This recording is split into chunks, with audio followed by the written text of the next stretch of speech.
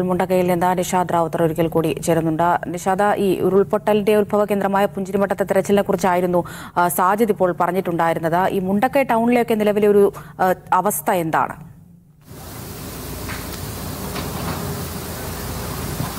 അമൃത കേൾക്കുന്നുണ്ടോ ഞാൻ പറയുന്നത്?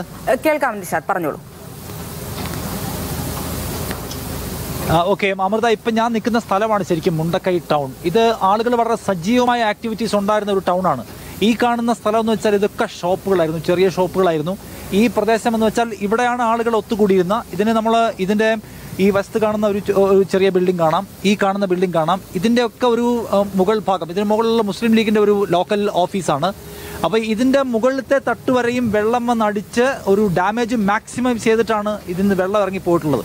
അപ്പോൾ ഈ പ്രദേശത്തുള്ള സംഗതികൾ കംപ്ലീറ്റ് ഇല്ലാതായി.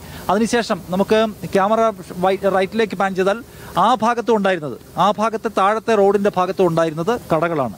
ആ കടകളും പൂർണമായും തകർന്നു പോവുകയും മണ്ണിനടിയിലായി പോവുകയാണ് ചെയ്തിട്ടുള്ളത്. ആ കടകൾ ഉണ്ടായിരുന്ന പോർഷന്റെ തൊട്ട് പുറയിലാണ് ഇപ്പോൾ നമ്മൾ ഹിറ്റാച്ച് വെട്ട് വെച്ച് പരിശോധന നടത്തുന്നത്. അതിന് പുറയിൽ ഒരു വീടുണ്ടായിരുന്നു.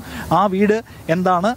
അതിനടിയിൽ ആളുകളുണ്ടോ എന്ന് പരിശോധിക്കുകയാണ്. അത് കഴിഞ്ഞ് നമ്മൾ ഈ റോഡിലേക്ക് വീണ്ടും തിരിച്ചു വന്നാൽ ഇതിന്റെ പുറയിലുള്ളൊരു ഒരു മോസ്കാണ്. ആ മോസ്ക് വളരെ ആക്റ്റീവായിട്ടുണ്ടായിരുന്ന ഒരു മോസ്കാണ്. അവിടെ ഒരു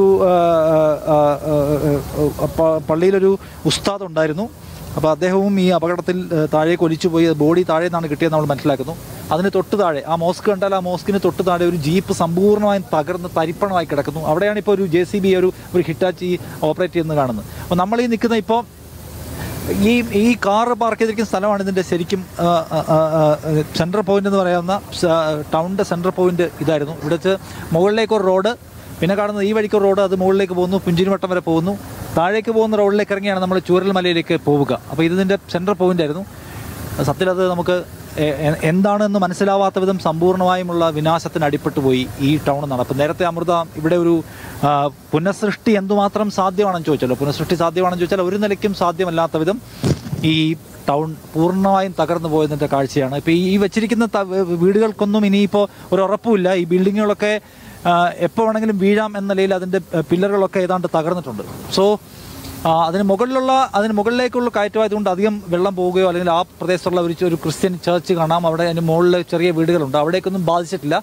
പക്ഷേ അവർക്ക് ആ മുകളിലുള്ള മനുഷ്യർക്ക് അവരുടെ താഴെ ഉണ്ടായിരുന്ന വൈകുന്നേരത്തെ എല്ലാവരും അസംബിൾ ചെയ്തിരുന്ന അവരുടെ ജംഗ്ഷൻ അവരുടെ അങ്ങാടി പൂർണമായും നഷ്ടപ്പെട്ട് കഴിഞ്ഞിട്ടുണ്ട്. ഒരു അർത്ഥത്തിൽ പറഞ്ഞാൽ ഐസൊലേറ്റ് ചെയ്യപ്പെട്ട ഒരു ഏരിയയാണ് നമ്മൾ ഇപ്പോൾ പുറകിൽ കാണുന്നത്.